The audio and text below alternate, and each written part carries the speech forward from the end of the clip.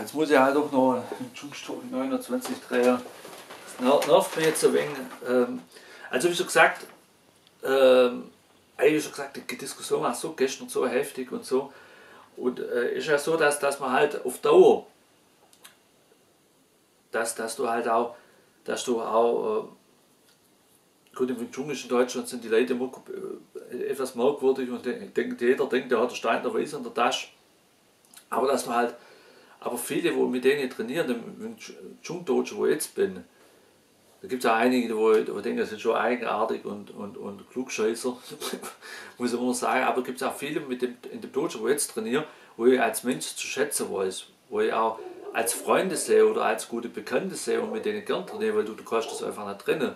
Den habe ich so hochgehoben und so zwischenmenschlich zum Schätzen gewusst und dann als großer Bruder gesehen und schon als Freund gesehen, weil man sich ja, weil das auch so, weil das, weil das halt so ins geht, ins Interne, man trainiert zusammen, man bereitet sich, er bereitet mich auf Prüfungen vor, ich, ich war immer besser und wenn ich Angst hatte, hat er mir auch immer irgendwo äh, Mut zugesprochen, was eigentlich für seinen Unterricht natürlich spricht, für ihn als Mensch. Und, und, und das du auch nicht trennen. Äh, zum Beispiel so Teigkneipe, egal wo das sind, gibt es einige Thailänd, thailändische Kneipe bei uns in, in, in der Umgebung. Du das auch, die verdienen auch mit, mit, ihrer, mit, ihrer, mit ihrer Teigkneipe oder mit äh, ihr, ihr Geld oder mit, oder mit ihrem Thai-Restaurant, ihr Geld.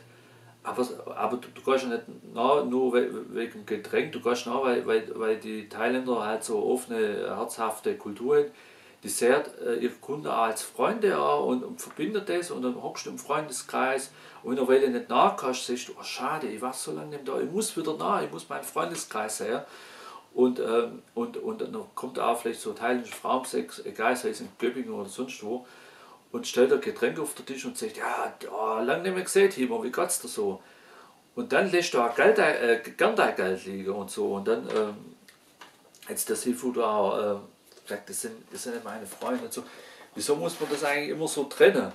Also, damit verdiene ich Geld das andere ist wieder was anderes und das was anderes. Man muss, äh, muss ja nicht alles in so eine Schublade, ein Fach reinstecken.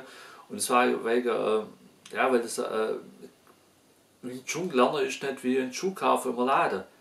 Also, dass der Schuhverkäufer nicht mein Freund wird, ist ja klar.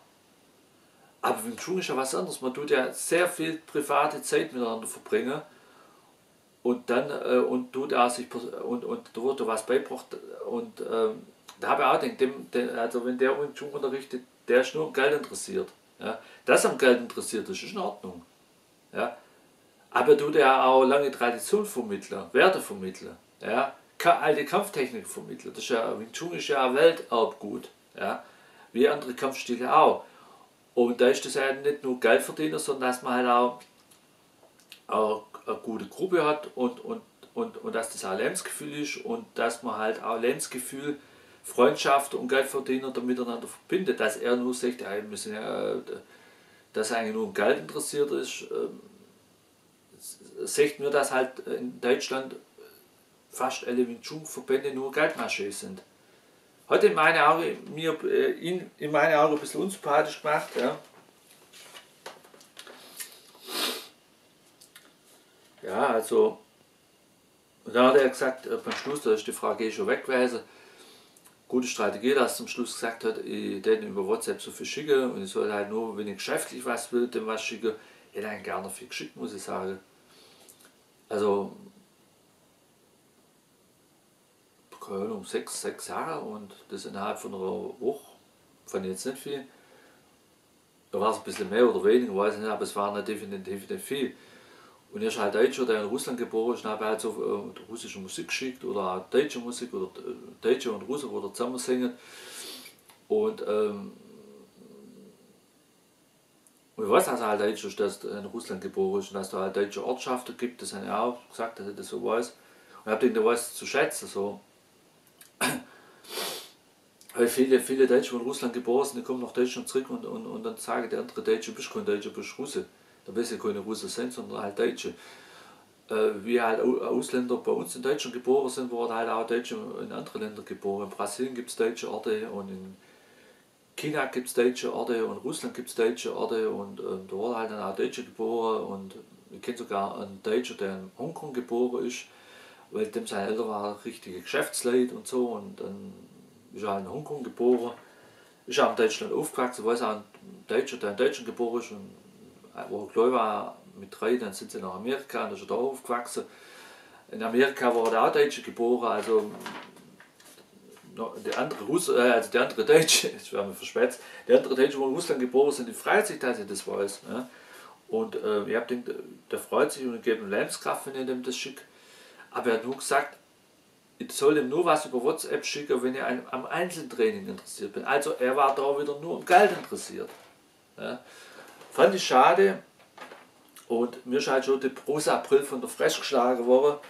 Und dass ich halt auch den Sifu und andere äh, äh, nicht mehr in rosa sehe, sondern halt einfach, also ich sehe immer nur die positive Seite, aber ich sehe halt auch die dunkle Seite und äh, ja, also wer,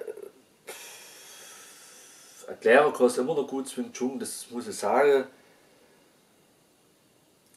Er kann perfekt Wing Chun, theoretisch sagen, gehört zu Europas Beste, aber wie schon gesagt, das ist eine Vermutung, um richtig festzustellen, ob er zu Europas Beste Wing Chun gehört, da müsste er offizielle Wing Chun Wettkämpfe geben da müsste er sich mit dem Reimers messen, müsste er sich mit Henry Müller messen, müsste er mit Emil sich messen, müsste er sich mit Kernspecht sich messen, müsste er sich mit Eugen Deisifu sich messen. Und wenn er beim ersten oder zweiten oder dritten Platz dann stand, der dann sagt, der sagt, okay, das ist jetzt Praxis erwiesen, er gehört zu äh, einer von der Europas Beste.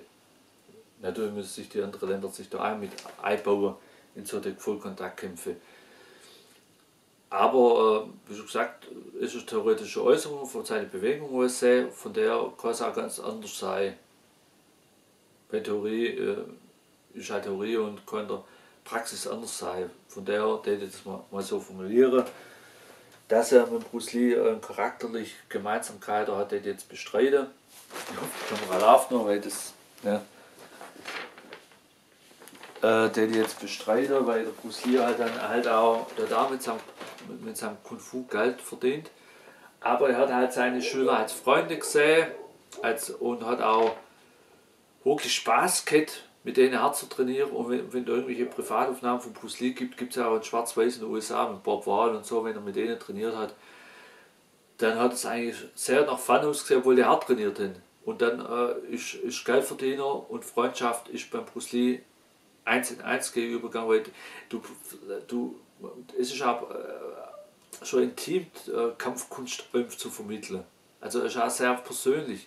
Und du kannst doch nicht ausschließen, dass du äh, mit Schülern auch Freundschaften schließt und ist auch, äh, auch bessere Lebensqualität, wenn es so ist. Wenn du aber nur ans Geldverdiener denkst, dann ja, ist halt dann äh, für beide Seiten nicht so nice. Ja. Wenn ich zum Beispiel irgendwann, äh, der letzte war auch